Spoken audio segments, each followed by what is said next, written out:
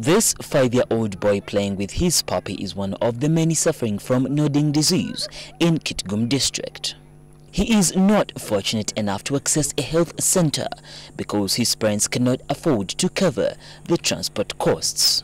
At the health center, these patients are waiting to see the doctors and nurses for help.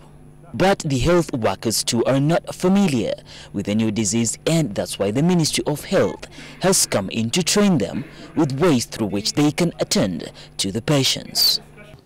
We have uh, a team from Gulu Regional Referral Hospital and Gulu University, the medical school, and we have a team from Lira uh, Regional Referral Hospital.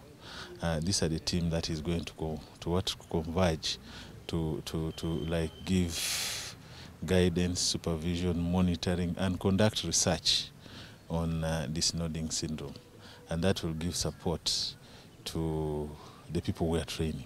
But how is this being conducted and why in Kitgum? Um, right now in the center in Kitgum Hospital, we have about 11 patients whom we randomly picked from out there to help us in getting hands-on training to the people who are going to manage the cases.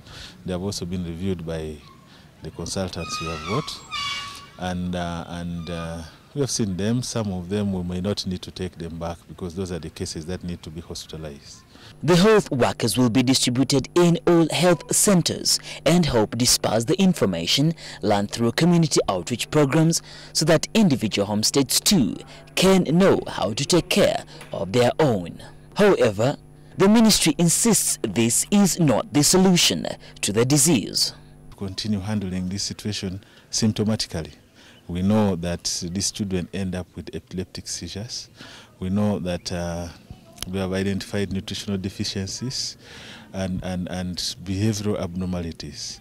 Now, the treatment that we are going to use and we are using now is geared towards ameliorating the nutritional issues and behavioral problems and controlling the seizures, which apparently continues damaging the brain and therefore leading to mental retardation. So if we can halt that as we look for the cause and eventually the treatment, I think it will, it's a very big progress. In the meantime, the Red Cross has come in to help supply food to the families affected in order to boost their immune system that will, in the long run, help their health get better.